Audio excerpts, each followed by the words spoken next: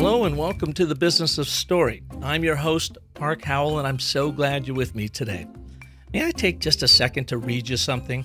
This is from marketing legend Jim Knapp, who was VP of Business Development for the media giant Bonneville International after he was Director of Business Development for CBS Radio. As Jim describes himself, he's a guy on a mission to bring strategic marketing capabilities to local media companies. Here's what he wrote I'm in the communications biz, so I've consumed just about everything ever produced about storytelling. And we all know that great stories can move mountains, but there are very few books, if any, that can teach you a proven process on just how to do it with intention and clarity. That's why I love this book, because it's more than a book. It's a workshop, a system, a planning tool to help you tell better stories, whether you run a business, consult, do marketing, speak publicly, sell something, anything or just want to be more confident and convincing about the stories you tell about you to others and to yourself. So I just had to write and review in hopes of convincing you to get a copy of this ASAP. And by the way, is there a better time to improve your storytelling than right now? Well, thank you, Jim, for your Amazon review of my new book, Brand Bewitchery How to Wield the Story Cycle System to Craft Spellbinding Stories for Your Brand. With Brand Bewitchery, you'll not only craft a crystal clear brand story, you'll learn to apply three proven storytelling frameworks to help you captivate audiences, convert customers, and grow your people by telling your stories on purpose. Plus, I've even included a step by step story activation plan that will guide you in the launch of your new brand story. So, whether you're building a company brand, refreshing an existing brand, branding an internal initiative, or want to grow the influence of your personal brand. Grab your print or Kindle copy of Brand Bewitchery right now on Amazon. It's okay. You can pause this show and I'll wait for you. We return you now to your regularly scheduled program. Welcome back. On today's show, we explore the importance of sharpening your personal brand story to help you not only navigate and grow through the COVID 19 pandemic, but to position you and your career to flourish following the pandemonium. Joining us is Bud Hanson, Executive Director of Professional and Corporate Education at Stetson University in Miami. A seasoned marketing and management professional, Bud began his career with Nestle Purina during his 15 years there, Bud managed brands, salespeople, and many high profile corporate and consumer events, such as the National Dog Show, all while earning his MBA and having a couple kids in the process. In 2004, Bud returned to his home state of Florida to start Fish On Marketing, a consulting agency focused on experiential marketing where he worked with many Fortune 100 brands such as MasterCard, NASCAR, Major League Baseball, and Coke, just to name a few. Bud also spent five years with Costa Sunglasses in Daytona, helping build a cult brand through a unique marketing strategy targeting the outdoor and angling communities. And his second entrepreneurial effort, Tribe Branding, works with salespeople, brands, and businesses to educate them on the power of storytelling. Today, Bud will share with you what you can do to sharpen your professional story through executive learning and upskilling. Plus, we'll talk about our new storytelling and business program Bud and I are launching in Stetson University's Professional and Corporate Education, or PACE, program starting on July 28th. So please welcome to the Business of Story, Bud Hanson. Bud, welcome to the show. Thank you, Park so great to have you here. You have got an interesting background in advertising and marketing. As I was going through it, I love the name of your experiential marketing firm, Fish On Marketing, because I did a lot of fishing growing up in the Pacific Northwest, so I can appreciate that. But now you've moved into education, and we're going to cover all of that today and how people can you know sharpen their storytelling skills sharpen their executive skills so that they can have some career insurance moving forward in what is the most uncertain, crazy world we've ever lived in. So it's really great to have you here and hear from you on what people can be doing to position themselves for better futures through learning and higher ed. So thank you, Park. Appreciate uh, you having me and uh, look forward to digging into this stuff. Well, give us a little bit of your background. How Okay. did you find yourself in marketing? Who'd you work for before you went into your own line of you know, your own agencies? And then how'd you find yourself at Stetson? Well, I got my undergrad down in uh, South Florida, University of South Florida in Tampa. Stretched a four-year degree to about eight, constantly working and taking on different jobs, and kind of the the poor college student. But all the while throughout my college, I had a lot of dogs, somewhat pet poor, and so I found myself working for a veterinary hospital uh, in order to uh, defray some cost for vaccines and uh, other procedures and things like that. As you A can big dog fan that even directed your early career, huh? Yeah, absolutely. I was working for the veterinary hospital, uh, got my undergrad in management at South Florida, and thought I'd try and uh, pair those two life events together with my animal health background and a management degree, and uh, got a job for that little pet food company up in St. Louis called Purina. Oh, And uh, as most careers start in sales, I um, sold to veterinary practices for about a year and a half, two years. All roads quickly led to St. Louis, and very soon found myself in marketing, managing uh, Dog Chow, which at the time was almost a half a billion dollar brand. And you know, keep in mind this was back in the 90s, uh, not to date myself, but marketing w- was all about great creative you know, lots of TV advertising, print ads, shelf space, point of sale. But I always say it was the greatest place to learn marketing because try selling a product not to the end user. And you really have to be good at marketing. You really have to kind of tap into that emotional connection between the pet and the owner.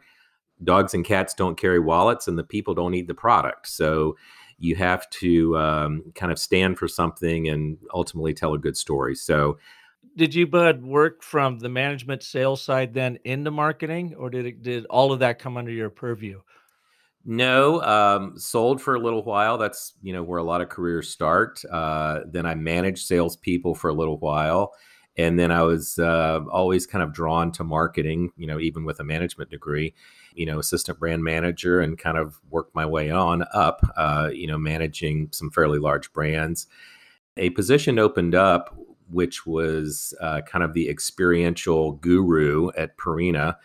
And so I had uh, oversight over many of their events and experiential activations, whether it be Meow Mix pop up stores featuring Eartha Kitt in New York City, or uh, you know traveling you know athletic dog competitions like the Incredible Dog Challenge, which is still running today you know, I kind of oversaw that and kind of shared best practices between all the brands, which was kind of my last act there at Purina. It was an awesome, uh, you know, first chapter of my career, even though I had done, you know, many other lower level jobs through college. But uh, this was kind of my first RJ, as if you will, uh, real job. On your experiential marketing side, because you went into that with your own um, agency, what was one of the coolest things you did with experiential marketing for dog food? I, I think it would have to be the challenge, the the Incredible Dog Challenge. Uh, I want to say it's in about its 22nd or third, maybe 25th year. It is still, you know, one of the I, I call it lightning in a bottle because it, it, took an event where you know everybody was used to seeing uh, show dog events but you know we called these the go dogs and they were the athletic dogs. It was dock diving it was agility it was fly ball it was frisbee um, you know x games for dogs. Exactly exactly yeah. and and so you know we took that and it became a huge pr machine. I have been on with the dogs kind of me in the background letterman leno sports center the today show good morning america you know lots of different outlets. And consistently it was achieving 350 to 500 million consumer impressions every single year. Dogs were hot and still are. But but it was a very interesting campaign because not only did you have a made for TV event which aired 6 times a year on a variety of networks but we had a digital um, you know game that we actually impact into product we morphed some TV advertising off of it, some print ads off of it, uh, certainly the PR machine. And you know, you talk about a 360 campaign with all the touch points covered. It was one in a million. So that was probably um, you know one of my more longer tenured experiential properties, and it's still going on today. So, and what did you learn from that? So you launched it, you got it rolling, you had a lot of success over the years. What do you think your biggest takeaways from a professional standpoint or from that? I'll tell it to you from two sides. From the event logistical side, I will say there are no small details. There is no one facet of the event that's either more or less important. One example, uh, we were having a large event, I believe, out west for one of our stops on our challenge series. And everything was going fine until someone realized that, oh, we forgot to order the frisbees. And during a typical event, you might have you know 10 to 12 competitors compete two or three times a day for a couple of days. So you know add up the frisbees each one requiring about 10 frisbees. So we had boxes and boxes of frisbees that someone had ordered but had not you know followed up to make sure they arrived. And so we have an event and we have no frisbees and it's like one would think well that's a little small thing but it's not really a small thing because you can't have a show you know, well, what'd you do? Well, we went out and went to about 17 different locations and bought up every single frisbee we could find. Clearly, they weren't branded, but um, like the ones we had ordered. But uh, you know, the show must go on, as they say. so, um, you know, no no one particular detail is any more or less important. You got to sweat them all.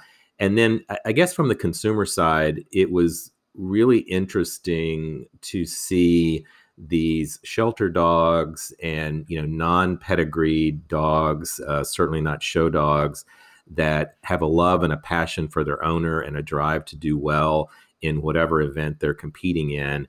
And you know, as the tagline would go, you know, any dog can be incredible given the right training, nutrition, and exercise. And so, the the people that were so passionate about their pets and the stories that they wanted to come and tell and you know, if you're a dog owner, and and I currently don't have a dog, but have been for many many years, you know, it's always a topic of conversation that kind of brings people together, and people can always share stories about pets and their breeds, and if you have a similar breed, you know, that conversation is tenfold now. People are passionate about their pets, so that's kind of the other lesson I learned. So what did you do? You moved on out of working for the the large company and started creating your own marketing firms.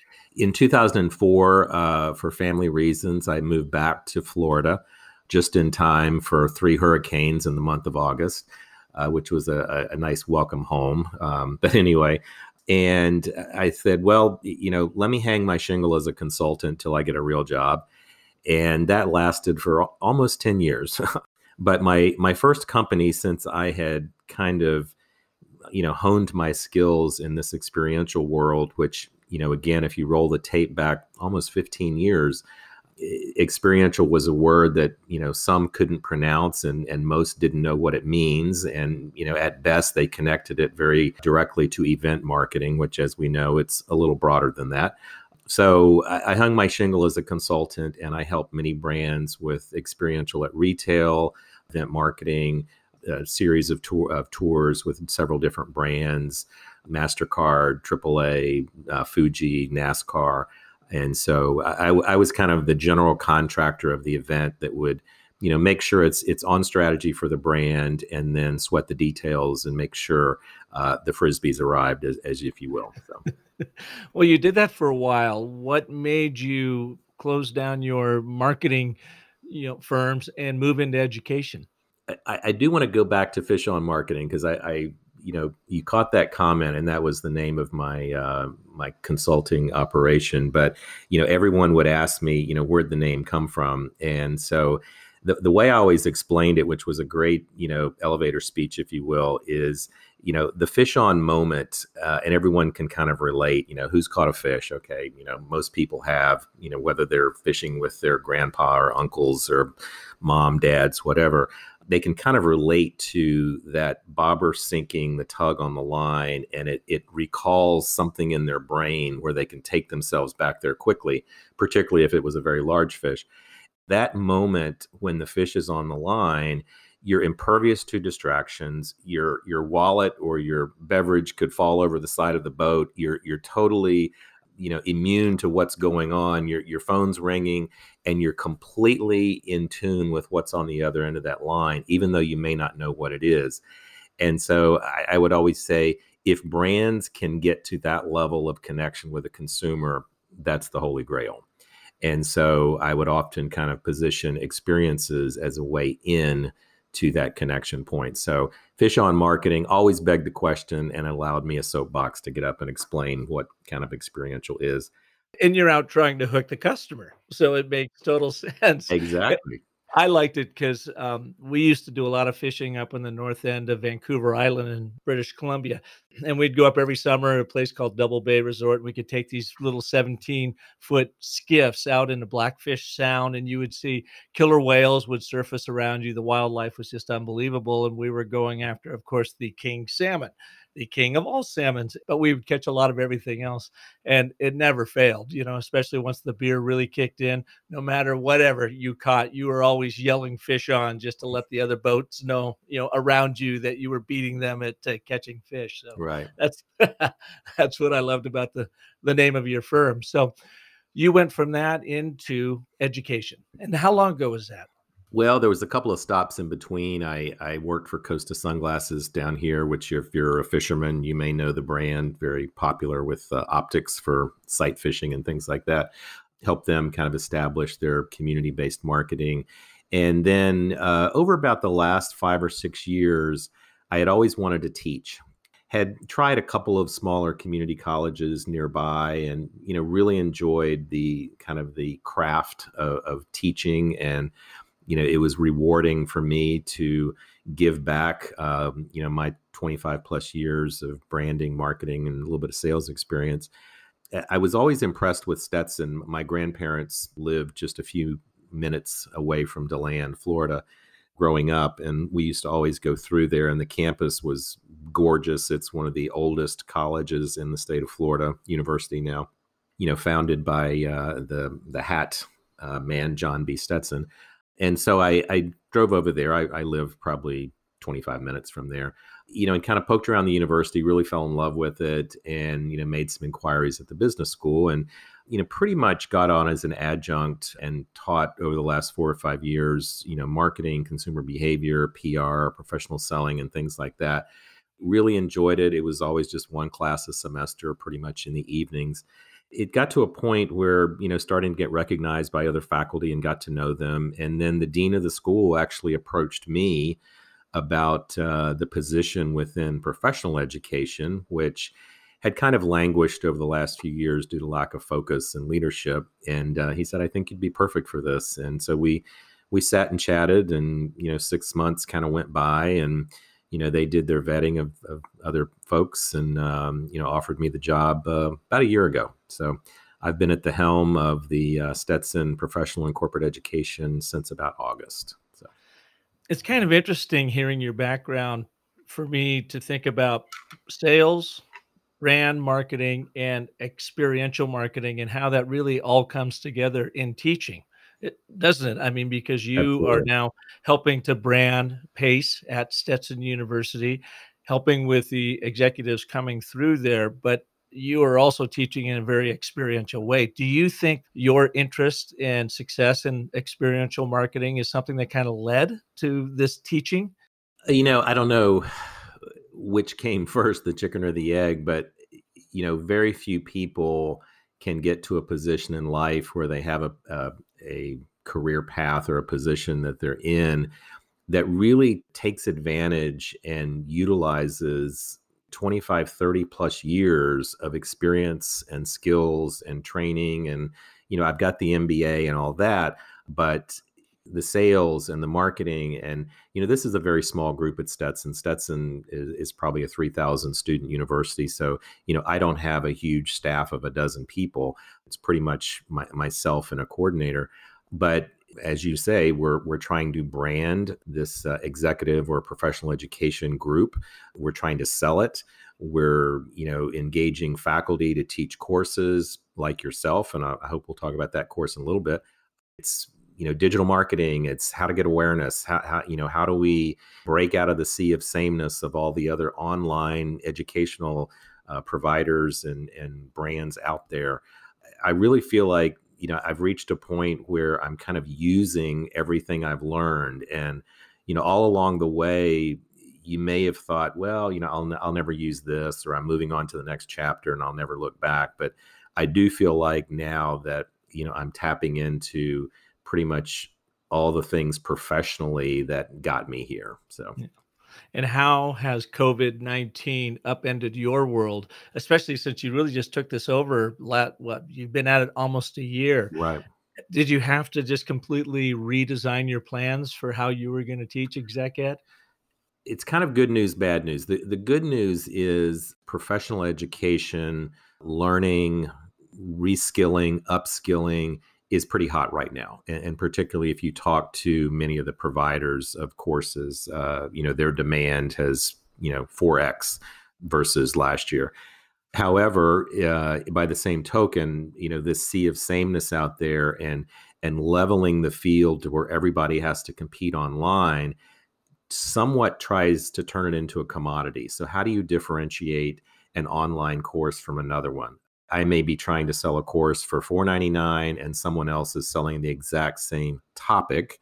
Maybe the curriculum is, I would hope the curriculum is maybe a little less quality, but for $49. As consumers kind of look and it's, well, they both online and they both take about 20 hours to complete, well, I'll just go with the cheaper one. And, and Stetson is really kind of known for, you know, high touch, high quality, small classroom sizes, you know, small private liberal arts school and my vision for professional education was that curriculum would not differ too much. And so I was building for a future that while we would have some online courses because it's convenient for working adults, uh, we would primarily base our courses around seated classrooms. That's our thing, and that's what people would expect from us. And as a brand guy, I didn't want to stray too far from the mothership or the parent brand. But COVID has really forced me into launching at least out of the gate, a small catalog of online courses, some taught by faculty, um, some taught by an online learning provider that we partner with, to at least get me a product, get me something out there. I don't want to just sit on my hands and wait to launch this whole thing. So we came out right in the middle of it, and it was like, okay, I think demand is high. Here's what I've got to go with. And I will slowly backfill with faculty led courses and more seated classes when the time is appropriate. You know, we're moving into some hybrid courses now and still leaning on our online courses to uh, to promote as well. So you saw this uptick in exec ed. Was that prior to COVID? Was that something that was already happening? And have you seen it even increase because of what we've been going through in our bizarro world we're all living in? You know, if you, if you roll the tape back many, many years, education has always served a, a very uh, worthy and valid role in our society. It helps 18, 19, 20 year olds grow up a little bit. It provides us all with some good background on a wide variety of topics. And it's kind of a leveler or a differentiator, I should say, as you get into the job market. As the old saying goes, it, it proves that you committed yourself to something and did it. Having said that, I feel like education somewhat lags in the needs of the job market. You know, even though we're we're putting kids through a fairly rigorous curriculum for certain degrees, those degrees are not as valuable to the employer as they once were. Now, this is not to badmouth higher ed. That's my employer, and I, I would never do that. And, and Stetson is doing better than most in terms of enrollments.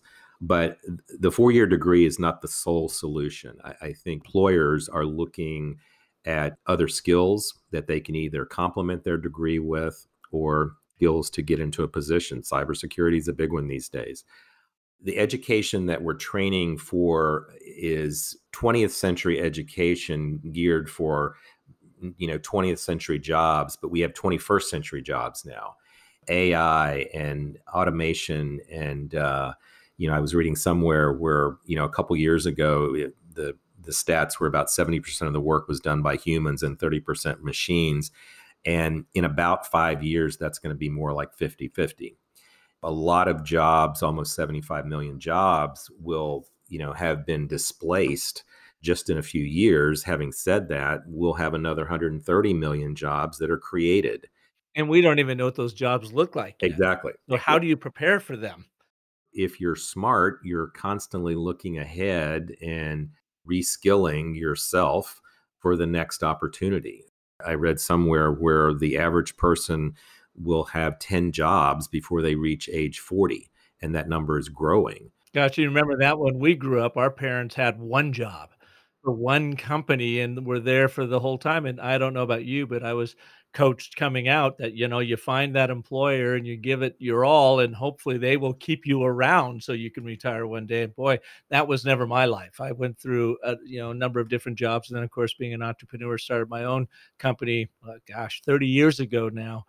But our kids they work for themselves or they've had a number of different employers and i can't even imagine today's workforce. They are going to go through i don't know what would you say 7 to 10 to more different Right. jobs companies as they as they get through their and it's interesting I, I think the world economic forum did a future of jobs report a few years back and it was you know why are you changing jobs? And about half of them as you would expect is for monetary gain and you know financial security and big you know more pay.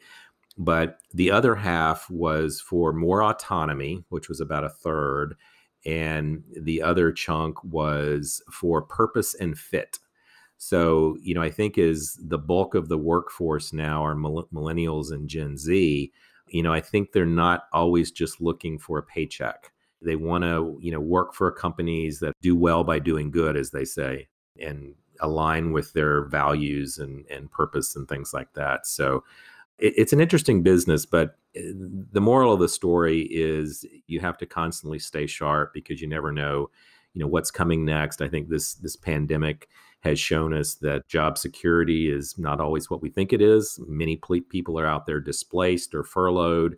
They're rethinking their career paths. They're possibly looking at other opportunities. Uh, you know, waiting for you know maybe a call back or not. And so, you know, now is the time to um, sharpen the saw. You know, when I was working at ASU, I was there for five years as an adjunct in creating a communication storytelling program in their executive masters for sustainability leadership. And Bud, back then, when we were first rolling out the initial course design, we had about 30 experts, scientists, sustainability folks in the crowd as we were, you know, explaining what we were trying to do and trying to get their input so that we could really dial in this curriculum. And when they introduced me as one of the four professors, I stood up the fourth to go through what I was talking about communications. You could see everybody in that room, for the most part, lean back, cross their arms, and look at me like, oh, you're the soft skill guy in kind of a condescending way. I had to actually broach that with them and say, well, soft skills, depending on how you add them up against the hard skills of analytics and measurable things, soft skills come into play around communications and relationships and leadership and working in a huge, huge way. And I found myself, and I was surprised because it was the first time I had worked in higher ed, defending Hmm. soft skills. I, I thought they would be more open to that. So now move ahead to, la- uh, to last year when LinkedIn came out with a report and they did a study uh, with the Future of Jobs report. The top five skills that companies are most needing, this says in 2019, now let's fast forward to 2021, is in this order creativity, persuasion, collaboration, adaptability, time management. All of those are soft Sure. skills in my book. And so I think it's really interesting as we are evolving towards AI and machine learning and robotics and so forth. I mean, hard skills and the analytics that make all of that work. What are employee employers looking for? People that can grow and can have the courage to step out of their comfort zone and can communicate and can can you know bring worlds together. They are looking for those very soft skills that just 7 years ago I had a group of people crossing their arms and saying, "Ah, those are nonsense."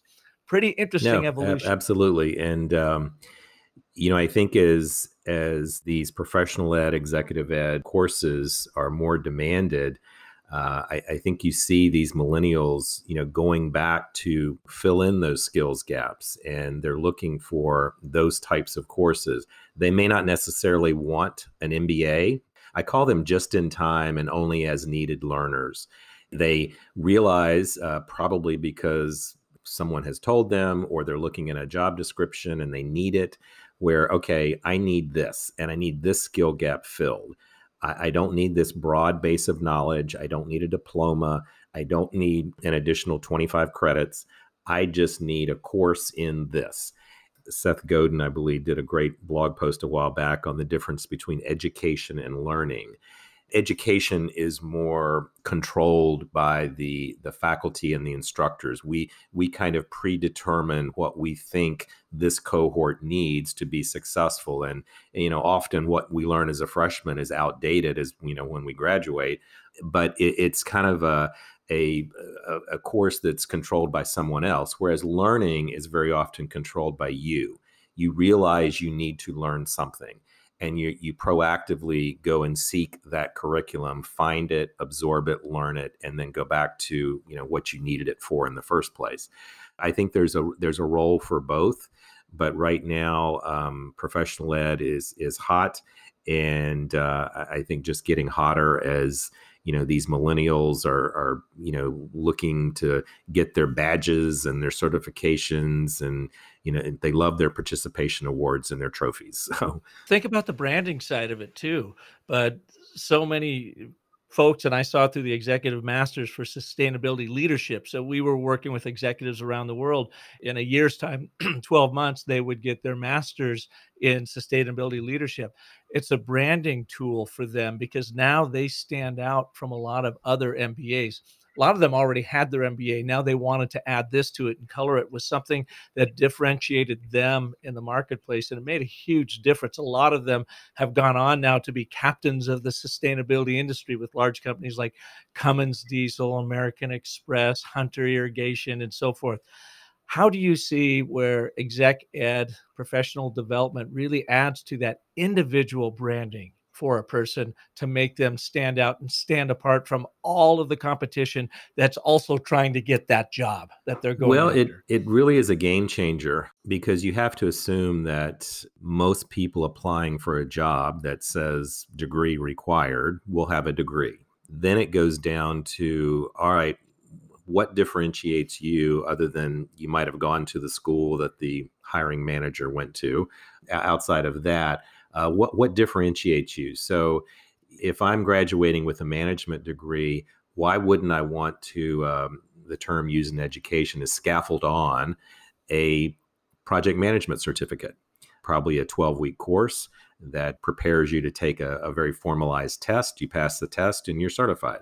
You know, now that hiring manager looks at you very differently. And, you know, that's a more formalized certification, but even if you can add to your resume or your LinkedIn profiles courses in creativity or you know managing high producing teams you know other things like six sigma if you're going into quality and things like that there, there's just a plethora of skills that can be taught and it just makes us a better person and uh, makes us a more employable person.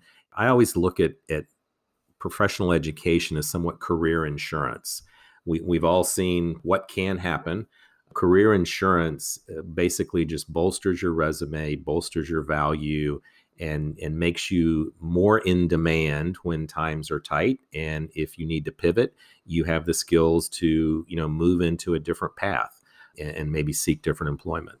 The other thing about learning that I've learned, anyways, and seen in action is you go after that certificate or you go in for that you know, just advanced development in another area but it also unlocks other passions and curiosities inside of you that takes you in places you never realized were available to you.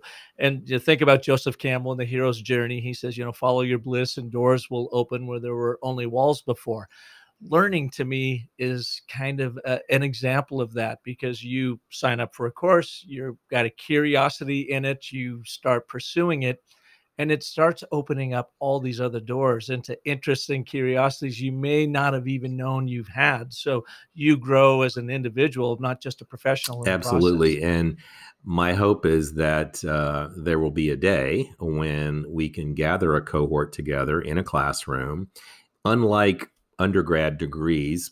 Clearly you have a cohort of students uh, from all over the country but a leadership training class will bring together 15 or 20 individuals from the business community that you may have never met. And the networking potential and value and benefit from professional ed courses is always a little added bonus because you meet people in the world of business. To date myself again your rolodex uh, can never be too too thick so well, Bud, let's talk about storytelling in business course because I was so happy when you called a few months ago and we connected. I don't even remember how you tracked me down actually, uh, but we talked about putting together absolutely. And and I've I've followed you for for several years as uh, you know one of my last consulting gigs was a little one man effort called Tribe Branding. Coming out of my experiential world and my work with Costa Sunglasses, the kind of the art of storytelling and particularly through you know high quality films really uh, intrigued me. And so i um, you know worked with brands and small businesses to help them tell their story beyond their about page on their website. Found you followed you you know knew at some point we'd work together. This seemed like a great opportunity to test out a hybrid version of your online course where we're able to offer our Stetson professional ed customers and learners the ability to take your course, but also have some one on one interaction and some classroom time virtual. So, yeah, uh, I'm glad we got together on this, and uh, that course will launch July 28th. Well, I'm really looking forward to it because I have ever, ever since 2013 been on a mission to prove that soft skills is where it's at and you have to keep developing it. If i go back through that list you think about storytelling and becoming a better communicator through the power of story and what i like to teach is you know we are all intuitive storytellers as homo sapiens. That's just we are storytelling apes. What i want to do is move us into intentional storytellers using these three proven frameworks so that you can go in and i would say own any room own the boardroom in presentation mode, own the break room, talking to your fellow colleagues and pulling them to go together, own the chat room, kind of an old fashioned term for being online and, and communicating and connecting with your audiences, and then ultimately owning the living room, which goes back to more of the traditional advertising, marketing, TV it all is based on these same principles of storytelling.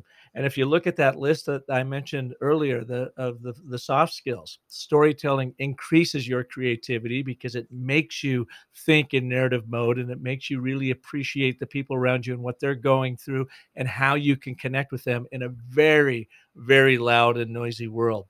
As I say, uh, stories help you hack through the noise and hook the hearts of your audiences.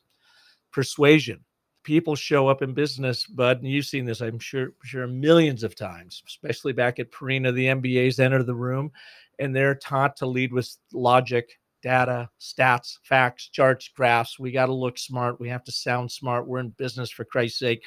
Story has no play in that. Yet without story, we don't put that information into context, and our audiences, no matter how smart they are, sit there dumbfounded because their limbic system just has a hard time of processing data without the context of story.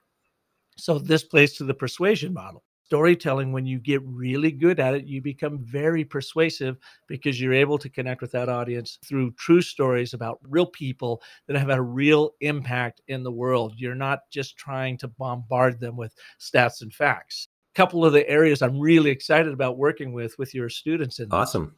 I can't wait to uh, get the cohort launched and uh, see you in action. The I, I, have taken a few courses and, and read several books, but the reason that I, I really was kind of drawn to to your course, and I've not taken the online version, but have the the workbook and the ABT formula and all that, is that a, a lot of the storytelling gurus and consultants and workshop leaders they spend a lot of time on you know why storytelling works and our limbic brain and what uh, stories can do and the power of story, but they don't get into the how you walk away knowing the power of story, but you don't quite know how to do it any better than you did when you went in. as a course, as an educational tool, uh, not just a, a, workshop at a trade show. You know, I, I really want people to walk away with the how, and I'm confident that you'll do that. Absolutely. And that's, I teach the applied science, which are those proven narrative frameworks to lead to the mm-hmm. bewitchery of storytelling. So when I'm looking at that list of creativity, persuasion, collaboration is another big part. Soft skill that storytelling brings to play because with storytelling you have understanding and empathy. You have to create that with that person sitting across from you to make it work. So collaboration becomes a natural byproduct of that. And what i'm really excited about this course designing it with you bud and i guess now i have a better appreciation given your experiential background and how we are going to do this course. Three weeks but we're going to start off with synchronous and asynchronous learning. Big words for me in person to kick off the course to get everybody you know heads around what we are trying to achieve and get a chance to really meet the cohort that way then we'll go three weeks of online training and i'll do a uh, another live session at the very end like a capstone but in the middle of those three weeks, I'll be available for one on one conversations, and each student gets a 45 minute uh, impact call with me to help them work through their storytelling. And I think probably the most important thing always is for me to get across to students is everything you learn will be immediately applicable in your business, in your career, in your job function, in your marketing, whatever it is you're doing, that this is not philosophy or theory. These are the hardcore tools that you can apply immediately to help become a more confident and compelling communicator. That's awesome. And I, I'm really looking forward to it. And uh, I'll be interested to see what the cohort looks like. You may have, you know, people from variety of industries, different levels of positions, but I know they will all benefit from the art of storytelling. Well, Bud, where should we send them? How can they sign up and reserve their place? Well, right if now? you go to stetson.edu forward slash PACE, which is uh, our acronym for professional and corporate education, you'll get to the site. I think there's one additional click to get to the individual courses. And you're right up there at the top with the storytelling course. And for the next couple of weeks, I think we're actually offering $100 savings for early registrations just to kind of get things moving and um, add a little benefit for for quick responses. So look forward to that. Check out our LinkedIn page at, at Stetson Professional and Corporate Education. We've got a Facebook page as well, but mostly uh, focus on LinkedIn for a lot of our uh, business communications and networking and things like that. Well, Bud, thank you for being here and thank you for inviting me into the Stetson community. I am so looking forward to launching our course together on the 28th and uh, working with all those wonderful Professor Howell. I appreciate the time that you've given me and uh, let's make this happen. Look forward to it. Thank you all for listening to this edition of the Business of Story. If you like what you heard or you want to take advantage of that course, get on over there, stetsonuniversity.edu forward slash PACE, P A C E. We will also have a link to the, the course in the show notes. And feel free to share this episode with anyone you know out there that is looking. Maybe they're searching around, they're trying to redefine their career. Maybe they lost their job during COVID and they want to level up a little bit in their knowledge and their skill development. Or maybe it's just you and you want to follow that curiosity. The one thing about this course in storytelling is it makes you get much clearer on your own personal story. What is your purpose in the world and how can you go out and realize it in the ideal, perfect job where you are not only contributing to a company and maybe it's your own company, but you're actually building community uh, about around what you care about the most. So check that out. If I can be a service to you, visit me at businessofstory.com. My new book is out, Brand Bewitchery. You know where to find that at amazon.com, both print and Kindle version. New author's best friend is not only the reader, but the ratings and review. Please leave one if you would. It helps me get found in the Amazon jungle. If there's anything else I can do for you, you know where to track me down at park at businessofstory.com. So I look forward to having you back here again next week when we will have another great story artist on here like Bud. And until then, remember that the most potent story you'll ever tell is the story you tell yourself. So make it a great one. Thanks for listening.